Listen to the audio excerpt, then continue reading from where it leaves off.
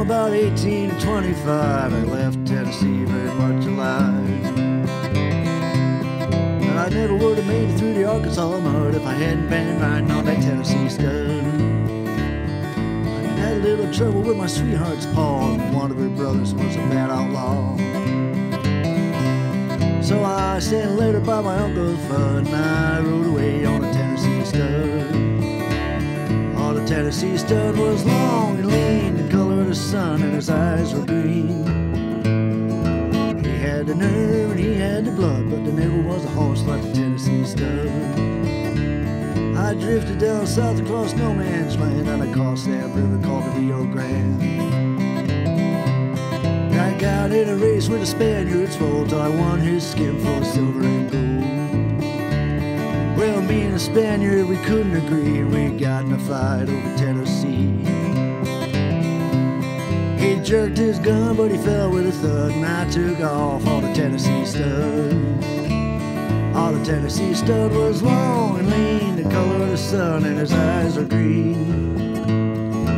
He had the nerve and he had the blood, but never was a horse like the Tennessee stud. I got just about as lonesome as a man could be, thinking of my girl back in Tennessee. Tennessee stud's green eyes turned blue, cause he was thinking of his sweetheart too. We drive back across Arkansas, and I whooped her brother, and I whooped her paw. I found that girl with the golden hair. She was riding on a Tennessee mare. All the Tennessee stud was long and lean, the color of the sun, and his eyes were green. Had the nerve and he had the blood, but there never was a horse like the Tennessee stud. Stirrup to stirrup and side by side, we crossed the mountains and the valleys wide.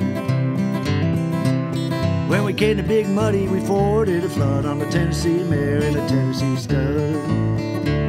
Oh, the Tennessee stud was long and lean, the color of the sun, and his eyes were green.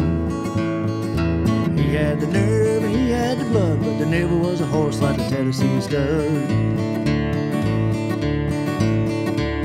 There's a pretty little girl on the cabin floor and a little horse colt playing round the door. I love that girl with the golden hair, and the Tennessee stud loves that Tennessee mare. You know, the Tennessee stud was long and lean, the color of the sun, and his eyes were green. He had the nerve, had the blood, but there never was a horse like the Tennessee stud. Those good horses.